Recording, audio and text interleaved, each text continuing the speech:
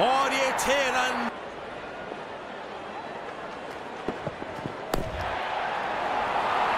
वाह क्या clean bat swing